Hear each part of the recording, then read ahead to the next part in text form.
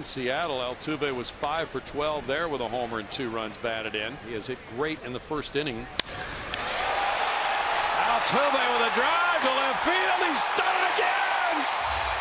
Another leadoff homer for Jose Altuve. Two in two games.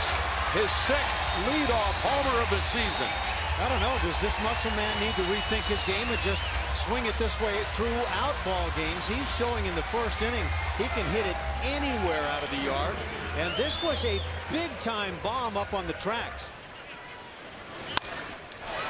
Another hit. Two for two tonight. Nine for 14 against Miley.